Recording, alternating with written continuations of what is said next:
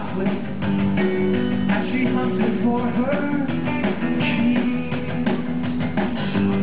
She said she never envisioned in the type of person capable of such deeds. Seed, oh oh, oh, oh. Oh, oh, and they carried on like long division.